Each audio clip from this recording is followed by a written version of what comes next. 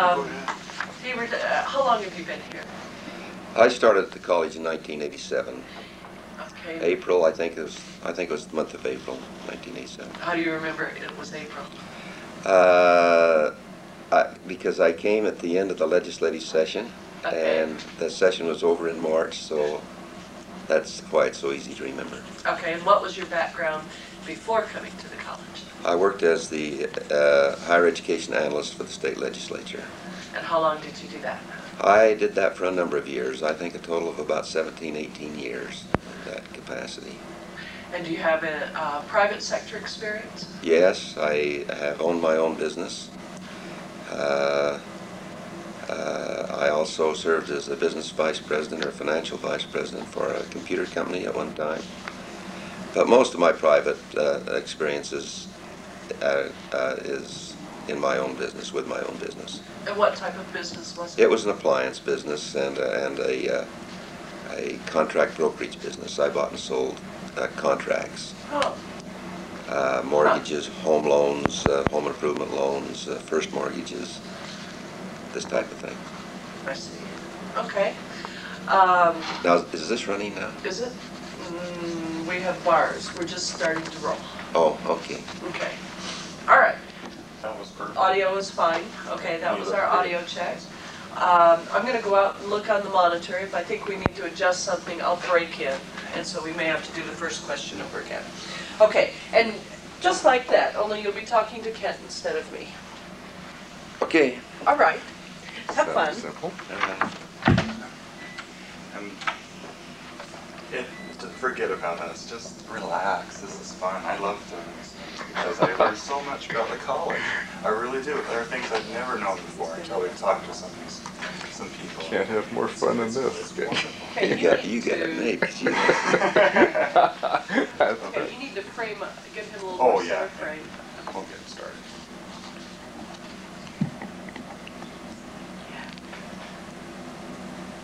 Okay,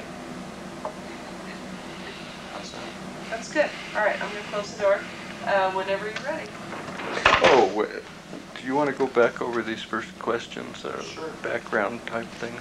Well, That's kind of your first question here. When were you first asked? Well, that's interim president. When did I first come to college? That's, Yeah, that's, if we- let's start there and pick that one up. Uh, What background brought you to the college as business vice president? I served as the uh, uh, higher education analyst for the state legislature for a number of years, and uh, in that capacity he became very acquainted with the financial affairs of each of the colleges and universities in the state of Utah. I worked with them very closely over the years, uh, almost spending as much time on, on campuses as I was spending really in my office at the state capitol. And as a result of that, uh, gained a, a, an in-depth understanding as to the financial operations of a, of a college or a university.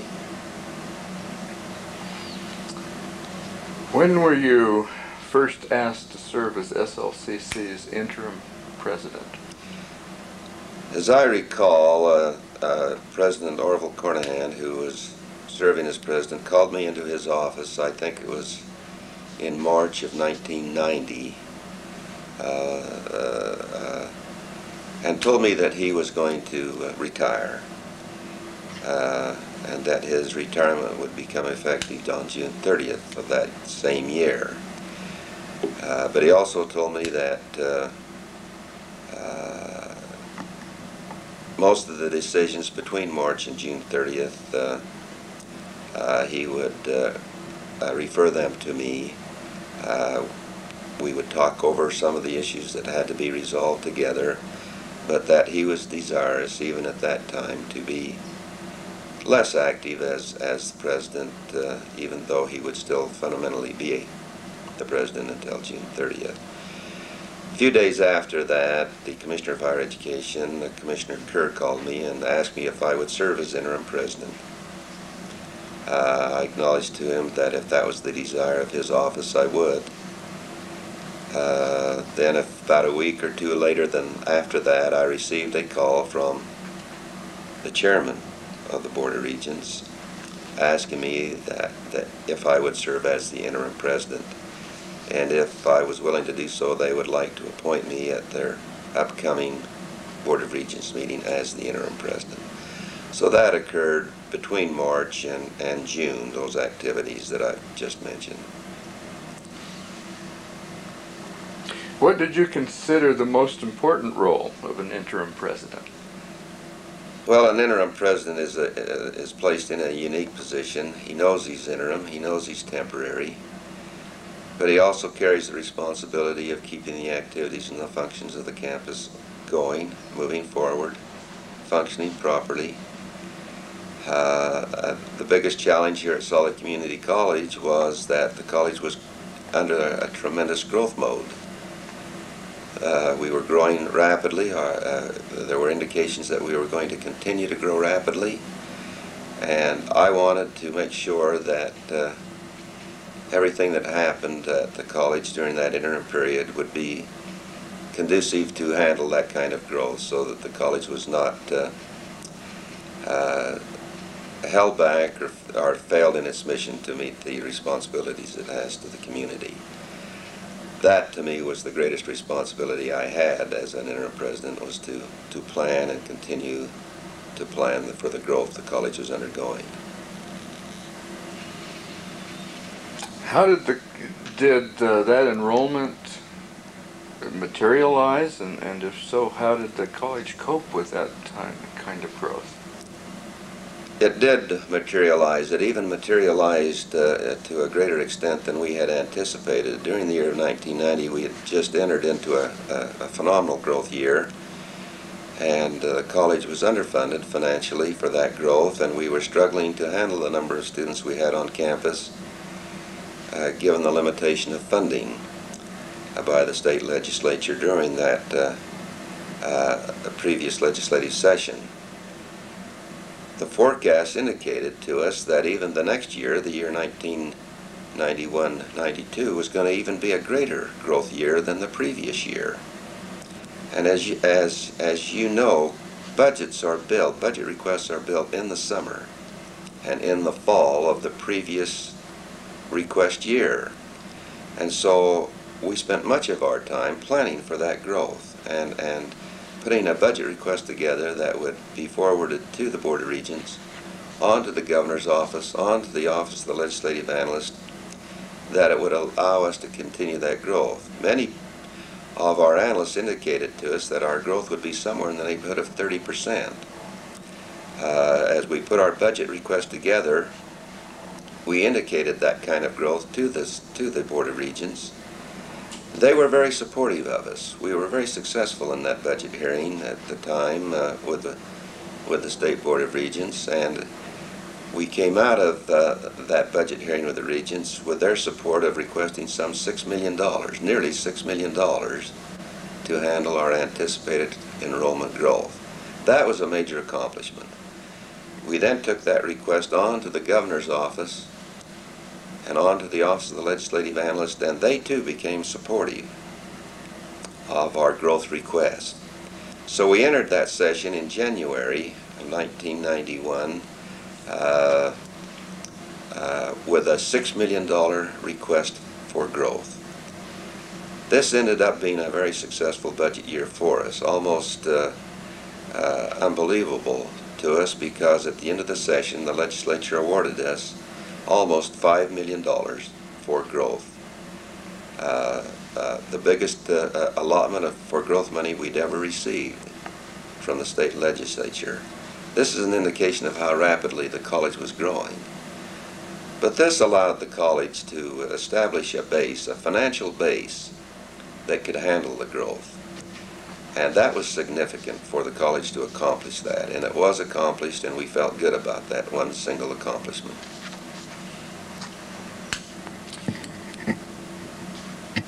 What happened with our investment program during this period to help, uh, that helped out? Our investment program at the college has been uh, a, a good program. We have invested our excess funds on a daily basis, keeping all of our money earning some type of interest return. Uh, this the, the year of 1990, uh, the summer of 1990 was the, was the year that we exceeded over a million dollars in earnings from our investment program. This was the first time our college had earned over a million dollars in our investment program, a significant boost to the college. We were then able to use that money to help us again meet our tremendous growth problems and, and it gave us a little flexibility to do some of the things we needed to do to handle this tremendous enrollment growth. About this same time, a joint venture began between the college and Union Pacific. Can you describe how that developed and, and grew? Yes, at the time I was appointed interim president, there had been some conversations about working out a partnership with Union Pacific. The college had been doing a considerable amount of training for Union Pacific uh, and some of their programs. A good relationship had developed between the college and, and the administration of the Union Pacific people, particularly those involved in, in their training programs. They came to us and expressed an interest in a joint venture with the college to build a building in which they would occupy part of the building and we would occupy the other part of the building. This caught my attention as being something very worthwhile, although it had never occurred in the state of Utah. Uh, this was something unique to the higher education system, particularly community colleges. We met with Union Pacific uh, uh, officials a number of times, and I could see that they were in earnest. We knew that we were in earnest, and so I felt it was necessary then at that time to, to make this known to the State Board of Regents. Up to this time, it would, had just been a conversation between the college and the Union Pacific. But now I, I became desirous to make this known to the Board of Regents and to our Board of Trustees and see if they approved of this type of joint venture. I met with the executive committee of our Board of Trustees. They liked the program and gave permission to proceed and continue our conversations. I then went to the commissioner's office and explained this to Commissioner Rolfe Kerr. We jointly decided it was time to take this type of program to the State Board of Regents to see if they too would approve of this type of venture. So Commissioner Kerr called an executive session of the Board of Regents and invited me to come before that executive committee and explain to them exactly what was happening with our Union Pacific relationship. I explained to them that we were desirous of, of entering into a joint venture with them, build a building on the Redwood Road campus of Salt Lake Community College, that they would occupy approximately a third of that building for their training programs. We would occupy the other two-thirds for our college programs. Members of the State Board of Regents uh, expressed their interest in this program and decided to take it to a vote, in, even though it was a, a, uh, an executive session of the Regents. They wanted to have the expression of unanimity, unanimous opinion of the, of the, uh, oh, let's back that up and leave that part out. That was, go that was a bad one. I think this pencil clicking is, is hindering the sound. Is it? And it is pretty loud, but I Is it? didn't want to. Okay. Uh, yeah, you're right. Sorry. We took the program, the venture, this joint venture, to the Board of Regents in an executive session. It was explained to them. The regents liked what they heard. We then uh, were given approval to continue our conversation with Union Pacific and, and were encouraged to do what was necessary to bring this partnership about. We felt good about that decision with the with, from the Board of Regents, and so we returned from that meeting with a greater amount of enthusiasm to continue our conversation with Union Pacific. We have done so, and it has proven to be a very successful partnership. The building is now under construction and will be finished in months to come, and will be a great, uh, a great asset to this college over the years, future years.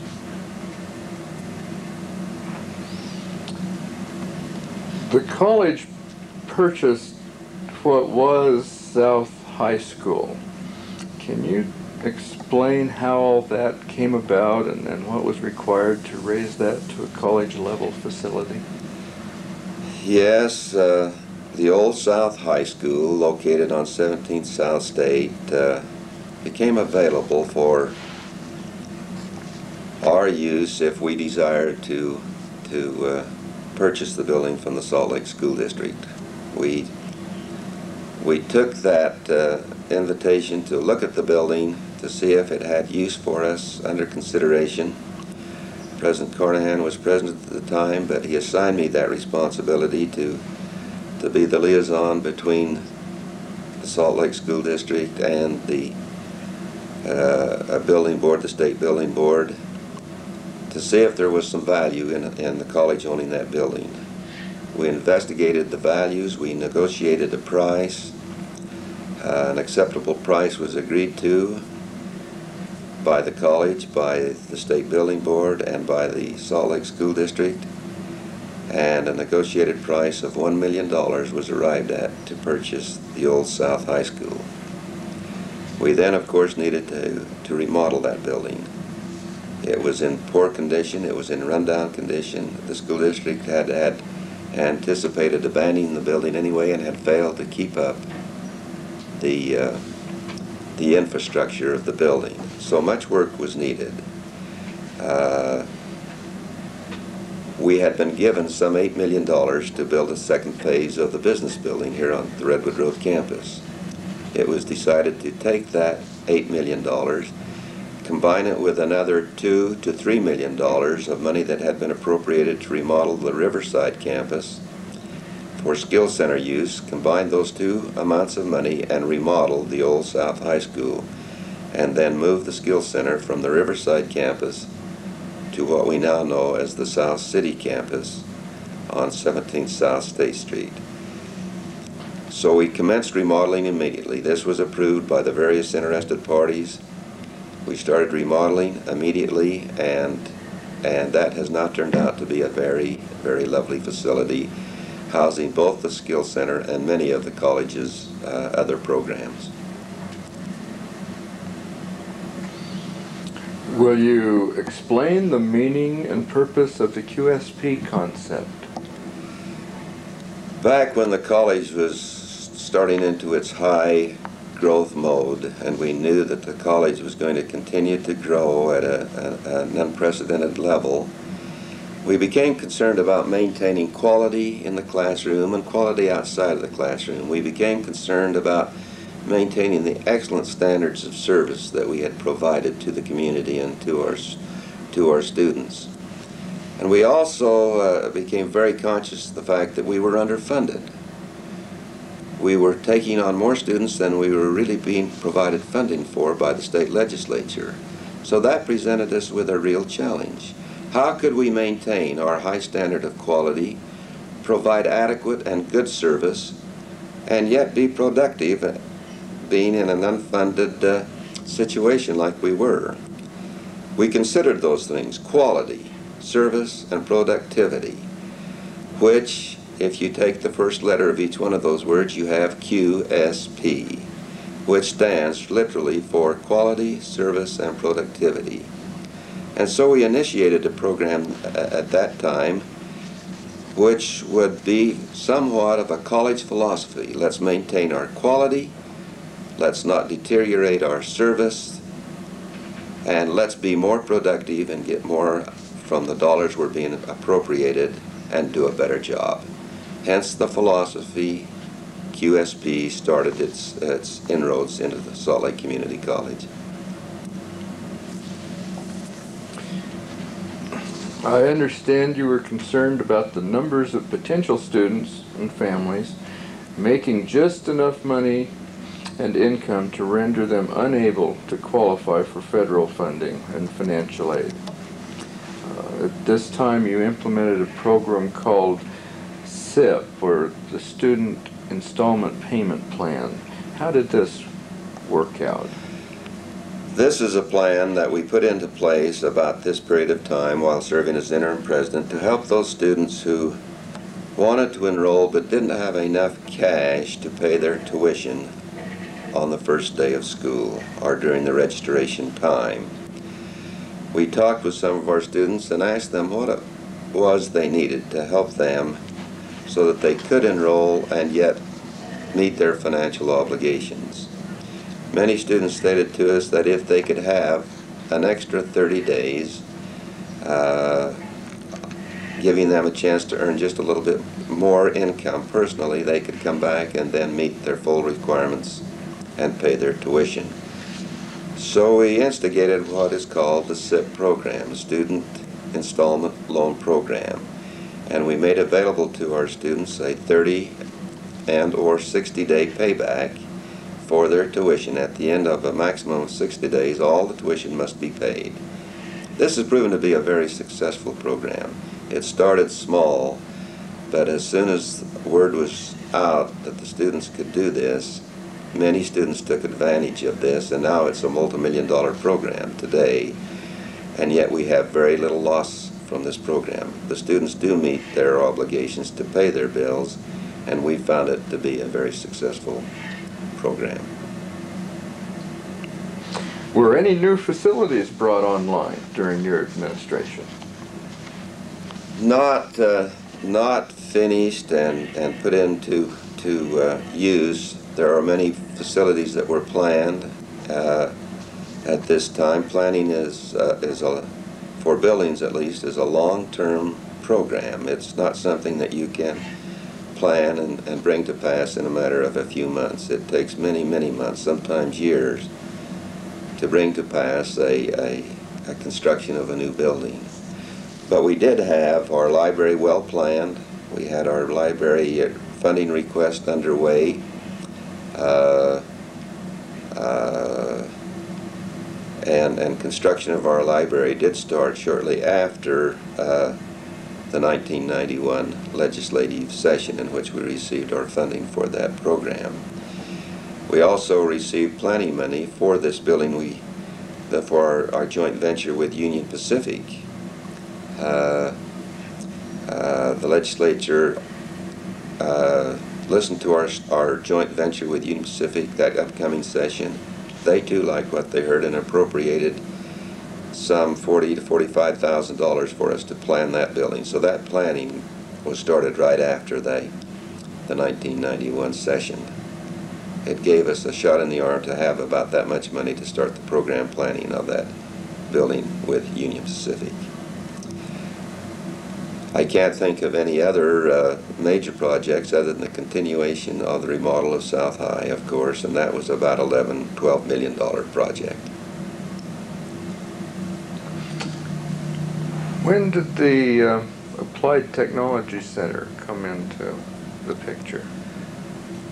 We had a, a building on campus called our Metal Trades Building, and it was during this period of time that uh, the college wanted to let the community and, and the school district know that we really have an applied technology center on this campus. We are the Valley designated Applied Technology Center, but we never officially had a, a place to house those students involved in the applied technology training.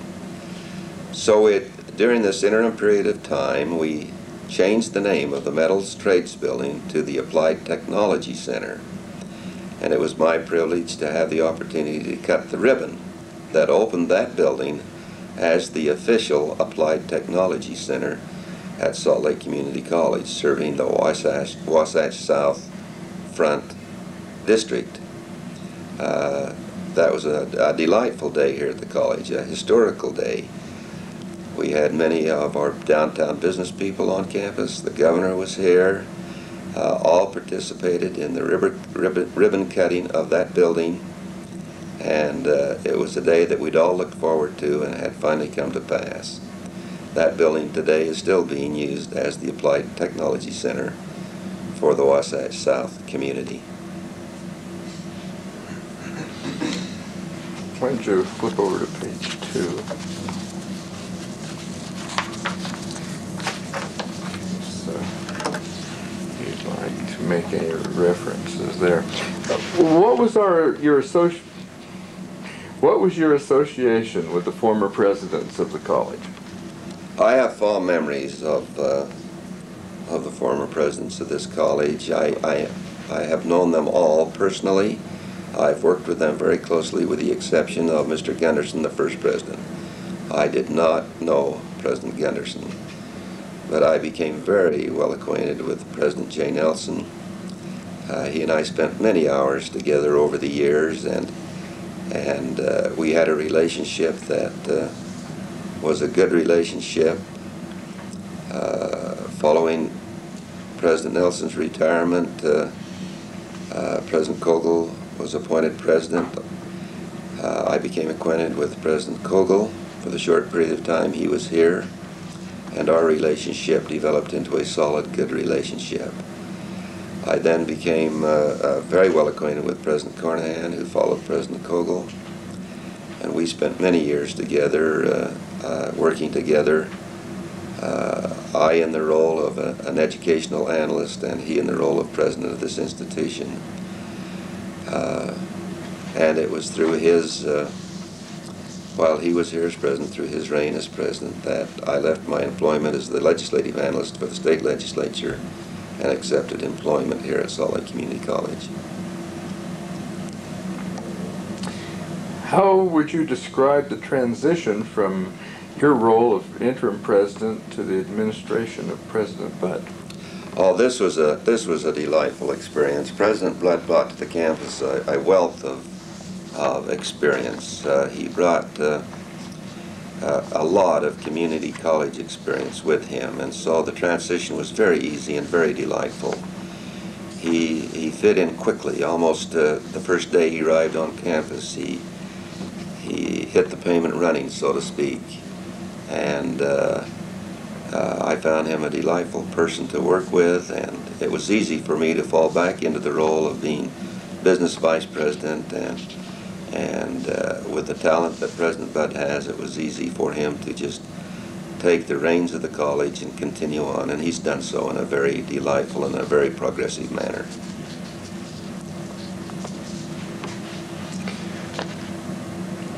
For a last question, what plans do you have now that retirement is so close? Oh, you would ask that, wouldn't you? Yeah, strike that from the record. no plans. No, we're, we're through, I take it. Unless you have any other summary Geez, that- statements. How, how long have these been going? Uh, almost half an hour. Is that about what the others have taken, or they take a lot longer? Depends. Of course, Jay Nelson will take a lot longer. Uh, some people went on for two, three hours. Whoa. Uh, I think that was Carnahan, and we had three takes. Is that right? You don't, don't, don't compare yourself with other people. There's anything you. you- Well, I, of course, I couldn't do that because I wasn't here. there. I wasn't interim president that long. I don't have that much to talk about. Uh, what was the other, Jim? Sher- Schnurl. Schnurl. He was, uh, and we, we, Yeah, interim president for only uh, six to nine months, I think. yeah, about the same length that he, I and was. he didn't think he had a whole lot to say either, but, uh, he he used at least one tape. Did he? But that's fine if you feel like you've. Maybe we ought to talk about going swimming and Yeah. kicking the dog and. Some- Something I would personally, if you, if I'm allowed to put in here, are there any anecdotes or any things, unusual things that happened while you were, while you were president that you can remember happening? I mean, would you like to talk about those kinds of, do you remember anything happening during his uh, brief administration? Or just while you're here at all, uh, should we talk about just what the main challenges have been? Uh, Is it personnel, is it facilities, Yeah. is it Yeah. legislature, uh, That would be interesting something like that?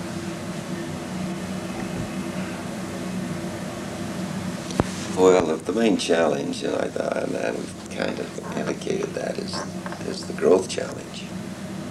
Staffing, getting faculty aboard, getting staff here. Is that something you want to pick up? Sure. Uh, Talk about that a little bit, very interesting. uh,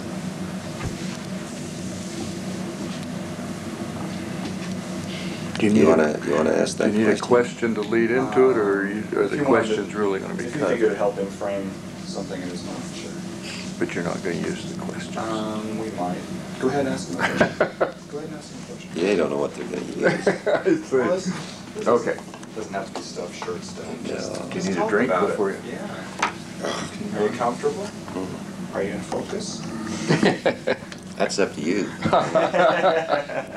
Looking great, Heber, looking great. Well, this may be your next career. Running a camera? On the front end. Uh, What would you, uh, what do you feel are the major challenges of the, the college faces? The major challenge, of course, is the growth challenge. Uh, Community College was in a growth mode uh, the year that I served as interim president. Uh, the year previous to that, we'd grown. We were moving into a rapid, uh, forecasted rapid growth the next year. Uh, just to manage that growth was a major challenge. The challenge of hiring faculty and, and making sure there were faculty, good faculty, not just bodies, but good quality faculty in the classroom was a major challenge. Uh, uh, it was during this period of time that we felt it essential to start nationwide searches for quality faculty. Uh, pretty much up until this time, the, the faculty, the new faculty coming to Salt Lake Community College came from from the local community and from within state. But with this rapid growth and the number of faculty we were looking for and the, and the expansion of, of our training programs, we needed to reach outside the state of Utah and, and look for quality faculty, faculty that could come into our classroom and keep the kind of quality that we would like in the classroom. So we started to go nationally uh, uh, for our faculty, and, and that has continued. And, and today we, we do advertise nationally for our faculty. That was a major challenge at the time. It's also a challenge to staff the college to to provide housing for these students, to make sure that there were classrooms available for them to attend. We brought onto the campus five or six portable classrooms to house our, our, our faculty and to house our students. These portables were meant to be temporary, but they're still here today because the growth continues to, uh, to occur here at Salt Lake Community College. But we needed to bring on those temporary classrooms. We negotiated with with the uh, uh, LDS Church Institute here on campus. They allowed us to hold some of our classes in their building, even though it was the, uh, the institute is not a college-owned building. They were kind enough to let us use some of their classrooms as overflow. And so we utilized the institute as well to house our students. And uh, uh, we rented property, uh, buildings off, off campus to house some of our classrooms and to house some of our students. Our, our uh, Sandy Center was growing very rapidly, and we had just completed uh, uh, a new structure at the Sandy Center in which to house our students, and this was expanded. And we rented more classrooms even in the shopping mall in which our Sandy Center is located to, to house some of our students. These were major challenges. Staffing, faculty, staffing non-faculty, facilities, buildings, classrooms. These were the challenges we had during this important time of our growth period. It sounds like parking might even have been a problem. Parking is always a problem on any campus in the state of the Union. uh, parking is a problem at Salt Lake Community College. Uh, it's not as big a problem as many students and faculty make it out to be, but we, we've had to build parking lots. We've had to expand our parking facilities. We are a commuter campus. We do not have dormitories. We do not have housing for our students. Our students live at home, and most of our students work. The biggest majority of our students work part-time to even full-time in order to maintain their families and their livelihood and and themselves and also attend college uh, pay their tuition and and struggle to uh, to upgrade their personal lifestyle. Uh, most students drive to our campus. They drive automobiles, and those automobiles have to be parked while they're in class. And so we have had to expand our parking and have done so. Uh, uh, we've pulled uh, most of our parking from off the streets and out of the neighborhoods because we have built enough park, on-campus parking facilities so that our students do not have to, to uh, park their cars on streets and throughout the neighborhood, and this has helped a great deal. Has the athletic program uh, grown or improved while you've been here? Yes, the athletic program was established uh, uh, before my my term as interim president, and and was well on its way. Uh, although in terms of longevity, athletics at Salt Lake Community College is young.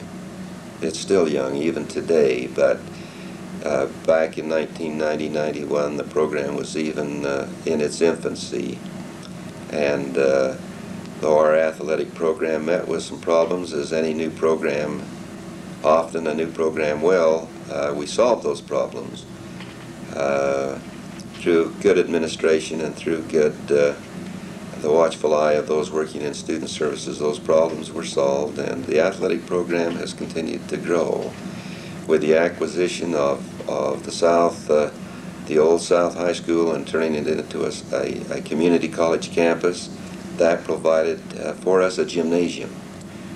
Up to up to this time, our ball games uh, were being played in rented gyms around the valley. We would rent a high school gym one week and play our games there, and then move to another high school the next week.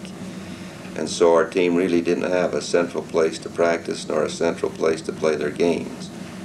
But with the purchase of South High School, this gave, gave us a, uh, a home for our Bruins. And this enhanced our athletic program tremendously. We were able to do better recruiting. We had a showpiece. We had something to tell. Our ball teams felt uh, more at ease practicing and playing on a court, the same court week in and week out. And that helped us athletically. It helped us competitively. And our athletic program as a result of that purchase of South High and that new gymnasium has now grown into a very solid program.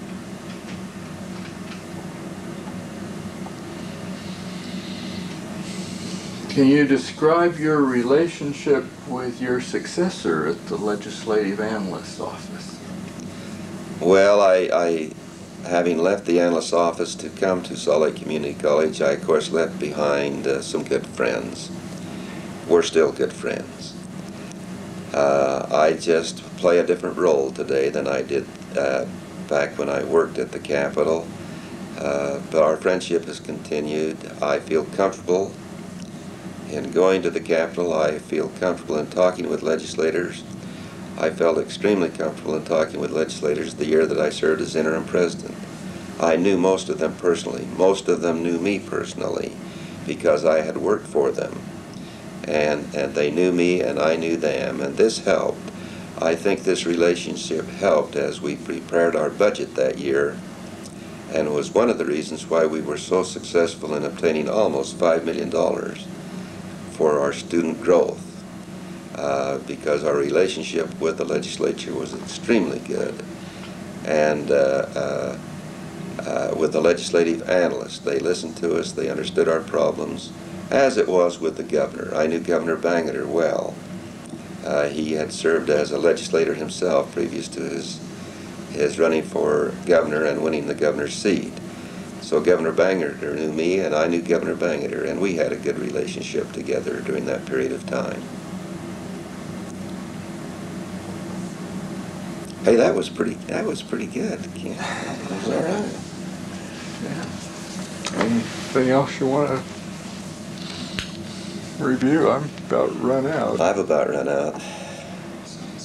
Do we get a chance to critique this thing? Oh, I don't know. I think we're at least entitled to be able to critique it, correct our words, our stammering and our humming and our Sure, I'd like to see this. You can ask Margaret, she knows me. See why not. This is fun, this is great. Okay, Easy for me. How is it over there? You're- I thought you were gonna be on the camera with me. I was- Oh, this was fine. Side by side. Well, all I relaxed a lot when I found out. Yeah, I can see Sit you over did. here. Okay. Thank you. Well, if we get a chance to take it, it'd be helpful. Where did Morgan go? I'll put a deal on her. Did she, did she go? He was watching this right here. Oh, thanks. Get us all out of, out of the way. Yeah, your name is Bruce?